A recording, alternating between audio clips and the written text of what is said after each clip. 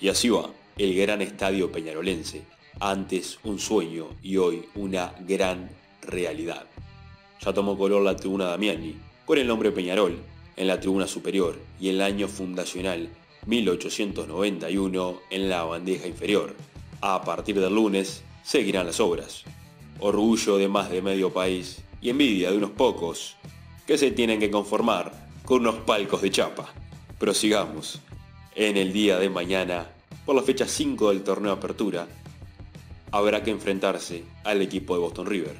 Peñarol se juega tres puntos vitales, ya que vamos octavos en la tabla, con cuatro partidos jugados, uno solo ganado, dos empates y una derrota, formando un total de cinco puntos.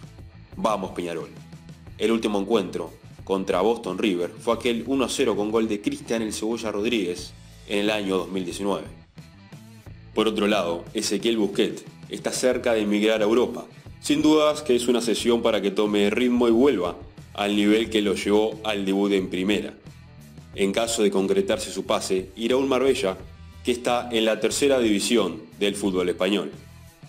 Desde ya, muchas gracias por estar aquí y será hasta un próximo video.